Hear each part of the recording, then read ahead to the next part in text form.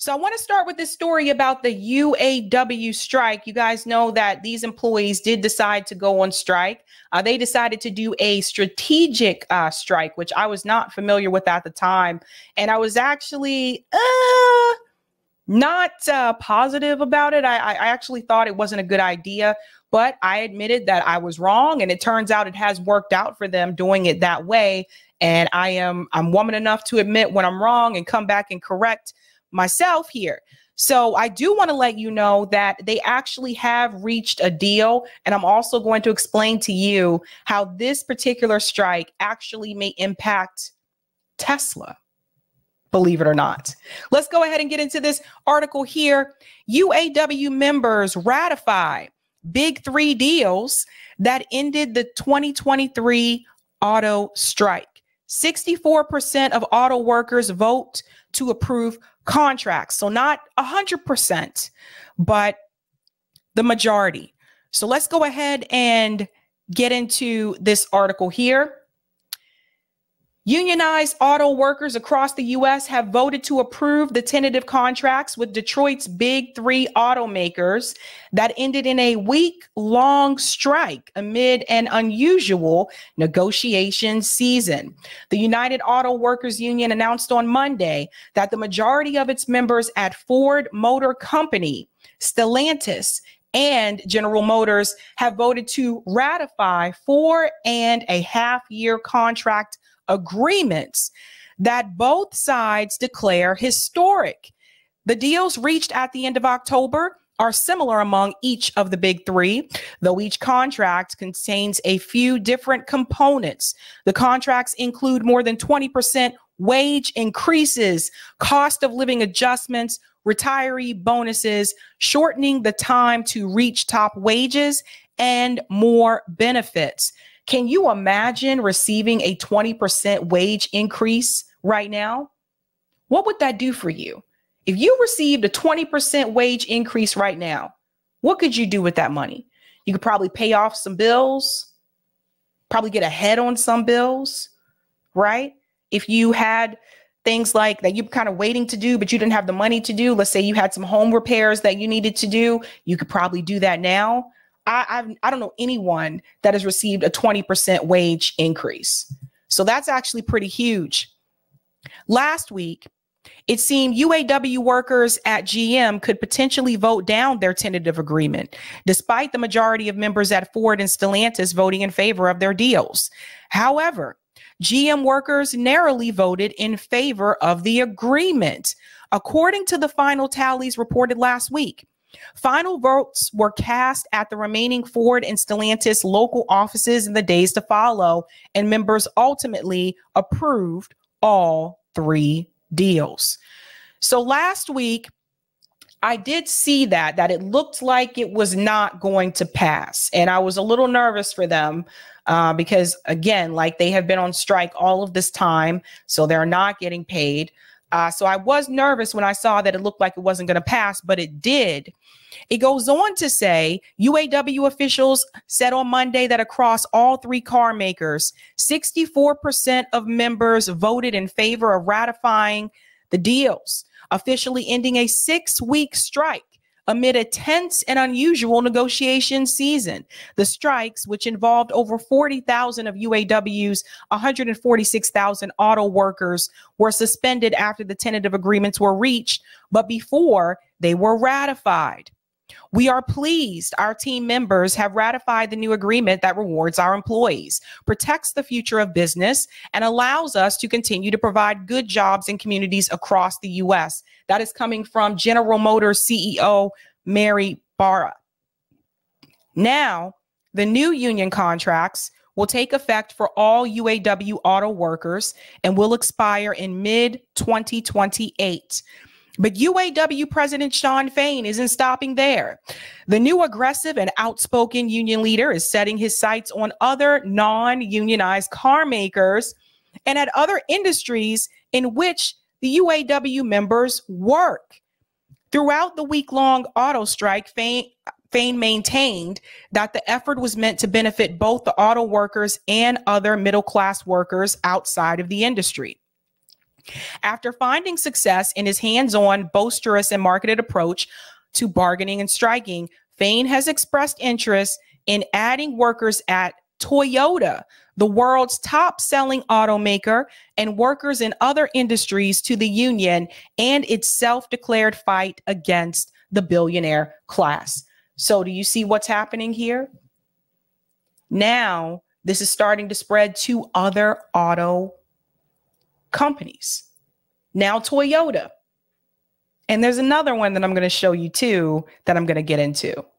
It goes on to say the members have spoken after years of cutbacks and months of stand up campaign and weeks on the picket line. We have turned the tide for the American auto worker. The stand up strike was just the beginning. The UAW is back to setting the standard.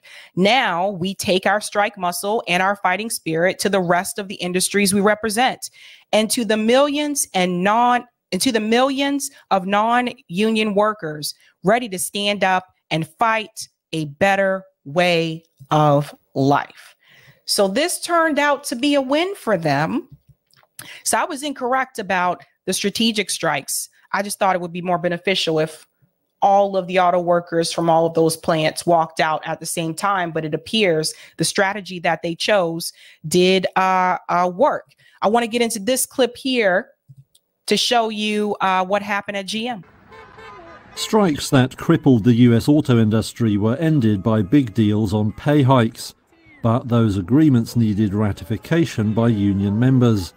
Now workers at General Motors have become the first to give their approval. They have voted to back the deal negotiated by the United Auto Workers Union. That will by the way, I'm, I I genuinely, seriously apologize that the uh, commentator here is not more enthusiastic.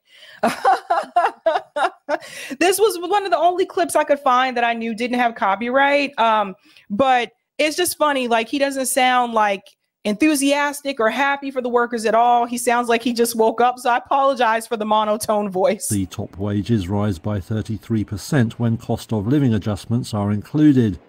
Attention now turns to the other members of the Detroit Three.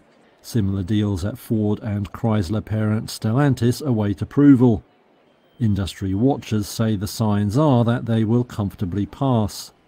Other automakers are racing to make their own agreements as they strive to hold on to workers. UAW chief Shawn Fain has said the union will target non-unionized firms that don't lift pay. Terrified auto executives across the country are rushing to give their own employees raises in the hopes of fending off the UAW. Subaru is the latest to say it plans pay increases.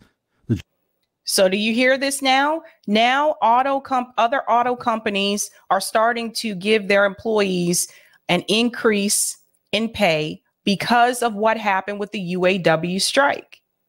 So see how a strike with the UAW is actually affecting other companies. Other auto dealers are like, "Wait a minute now we need to go ahead and give our employees a raise so this doesn't happen to us. So this is how things like strikes can actually be effective. Japanese firm said Thursday that workers at its plant in Indiana will get hikes in line with industry levels. It didn't give a precise number. That follows similar moves at other firms using non-unionized labor, including Toyota, Honda, and Hyundai. Yeah, I'm again, I'm so sorry that gentleman is not more enthusiastic, but there's more. It's not just Toyota, uh, Subaru, and Hyundai. They are also actually looking at making some type of a deal with Tesla. Yeah, that's right. That's right. Let's get into this article here uh, from Reuters as well. It says the UAW clinches, clinches record Detroit deals, turns to organizing Tesla foreign automakers. Now, Tesla, this is Elon Musk company. So this is really interesting. All right. The votes lock in UAW tentative agreements with the automakers through April 2028, which include a 25% increase in base wages and will ultimately, or excuse me, cumulatively uh, raise the top wage by 33%, compounded with estimated cost of living adjustments over $42 an hour. It is also cut the number of years needed to get to the top pay from eight years to three years. will boost the pay of temporary workers by 150% and make them permanent employees. And it includes significant retirement improve, improvements. This was a big one for the temp employees because a lot of times, if you're in a temp position, you actually do not have that option of doing temp to perm, right? Like more companies are more willing to hire just a temp worker instead of a temp to perm worker because once they become perm, you have to give them benefits. These are companies like trying to be cheap, of course. So this is a big improvement in reference to the temp workers. It goes on to say, um, I already read that part. Let's get to this piece here. UA UA President uh, Shawn Fain was in Washington last week to hold meetings to discuss the union's organizing strategy and is expected to outline more details in the weeks to come. Now we take our strike muscle and our fighting spirit to the rest of the industries we represent and to millions of non-union workers ready to stand up and fight for a better way of life. President Joe Biden, who has backed the UAW efforts to unionize other car makers, hailed union ratification on Monday. The UAW is fighting hard to ensure that all auto jobs are good, middle class jobs, and I stand with them in this fight. That's really interesting considering the fact that Joe Biden wasn't willing to stand with the railroad workers. So I'm curious to hear how the railroad workers feel right now about how he responded towards them versus how he's responding towards the auto workers. Fain told Reuters last week that the UAW was getting expressions of interest in organizing from many Tesla workers. Workers at Tesla, Toyota, Honda, and others are not the enemy. They they're the UAW members of the future. Votes in favor of the agreement from workers at some parts and component operations who stand to get substantial raises as they move to higher pay classifications outweighed votes against the contract from some veteran workers. So, this is the piece that I wanted you to see.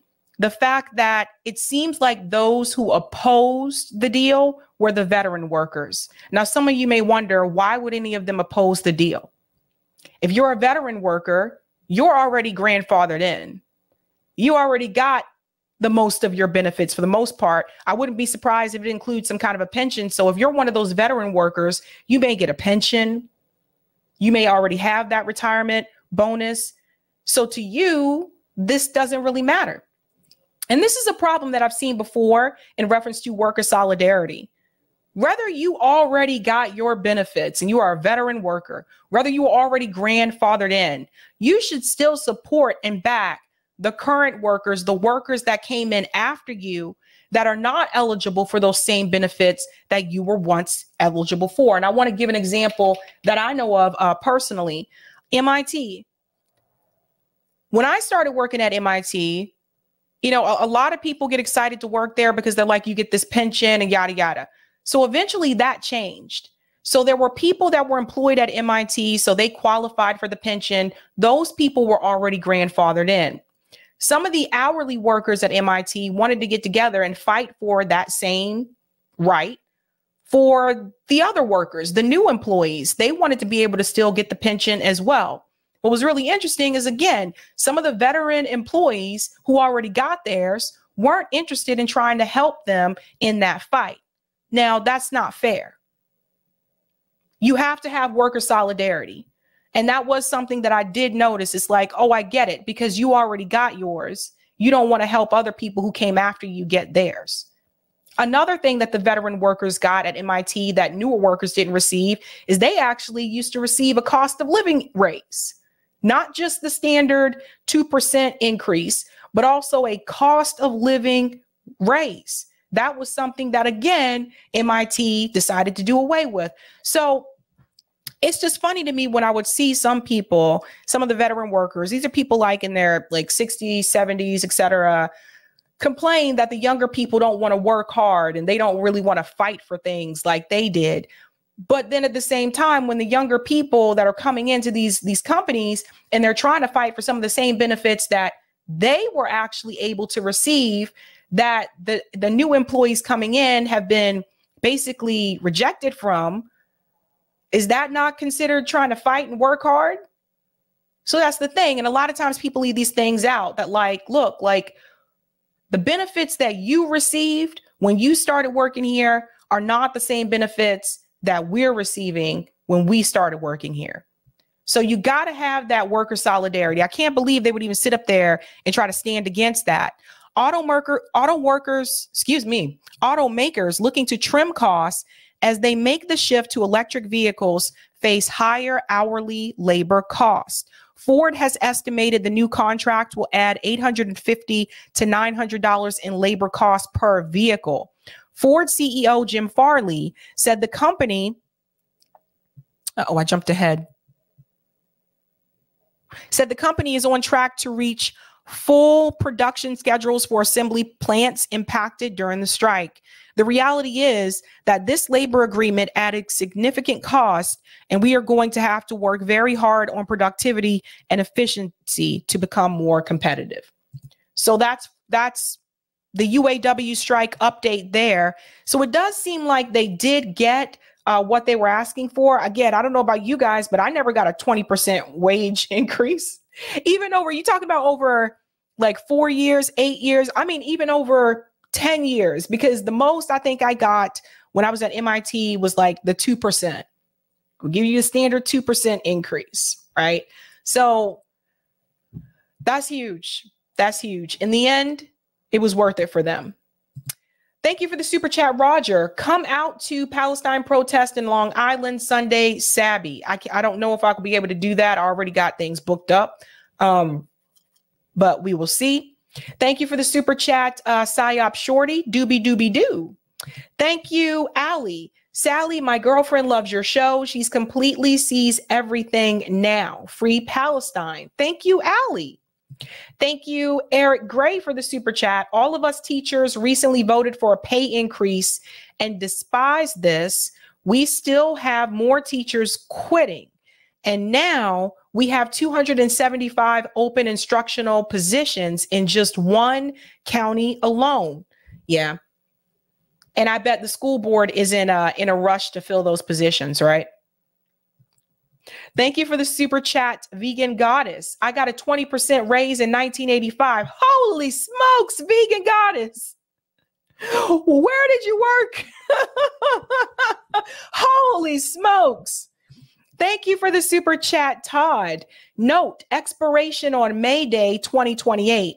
Fain is planning bigger labor wide moves later with other industries. First time hopeful for labor in a long time. There you go. See, I was wrong about uh Fain. He actually had he was looking at the bigger picture and he actually did have a longer plan in mind. And I think that's really awesome.